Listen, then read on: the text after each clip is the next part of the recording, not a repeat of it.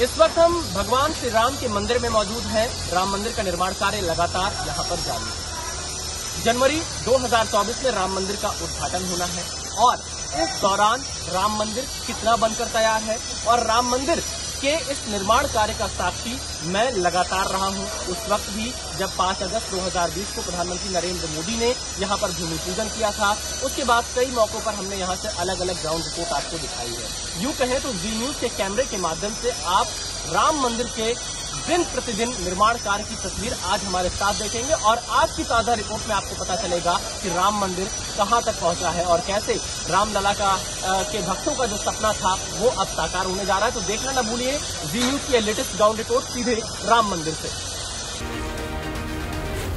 जी news.